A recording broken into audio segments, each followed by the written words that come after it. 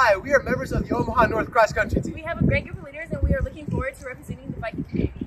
Our goals this year are to get better every day and make this the best cross country season yet. We are raising money for snacks and drinks for our meets and practices, new equipment, running shoes, and team gear for our runners who might need it, and team medals, awards, and scholarship funds. We would appreciate any and all support you're willing to give our program to donate to fundraise. Thank you for your support and hope to see you at our meets.